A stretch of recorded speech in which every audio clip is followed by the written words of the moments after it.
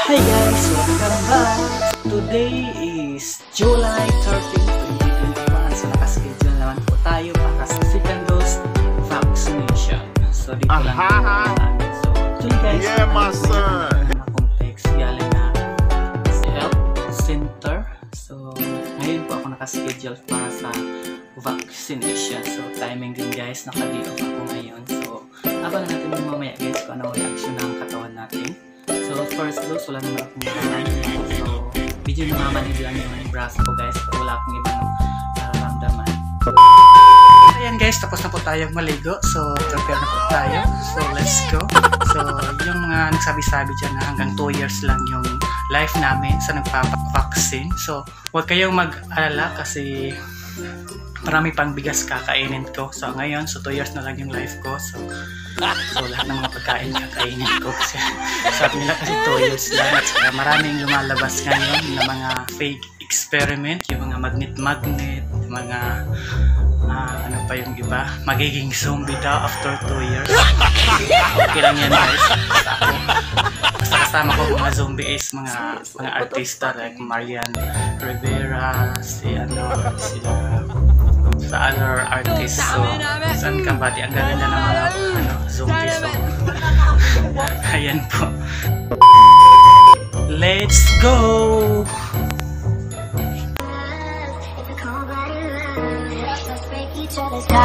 It's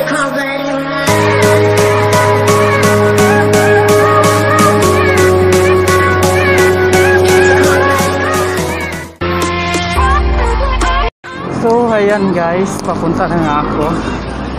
So, good luck! So, handa na po ako.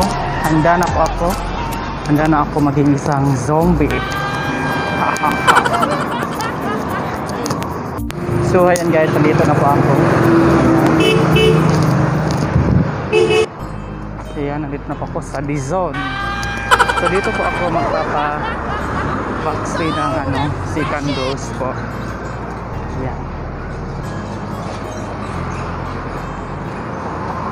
Dito po tayo ngayon sa D-Zone para sa second dose vaccination.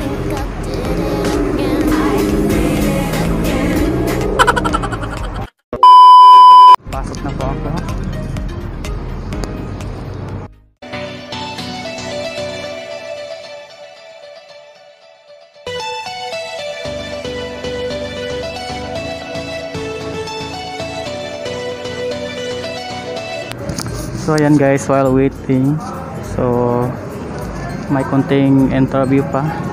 Guys, papalapit na.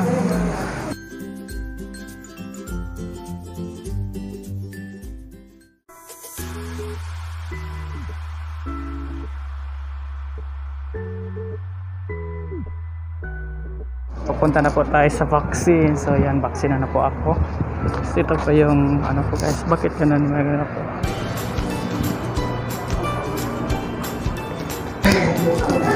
Kinakabahan pa rin ako guys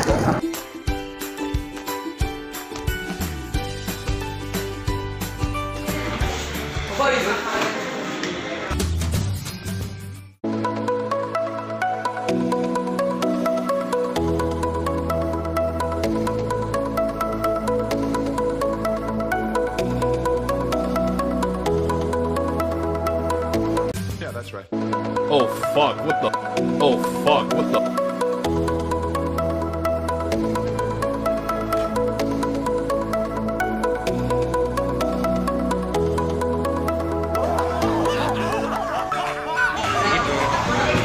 thank you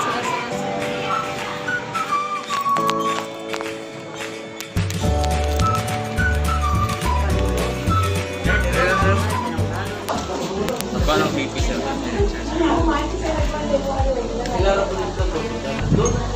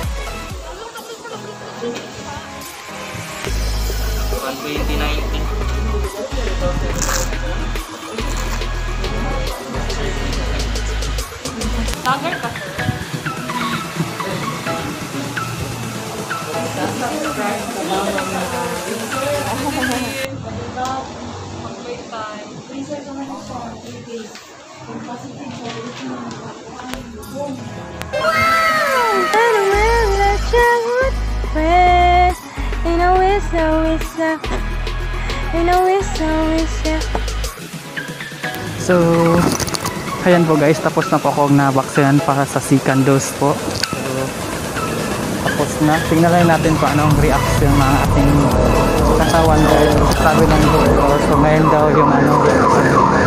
So, guys, papauwi na po ako.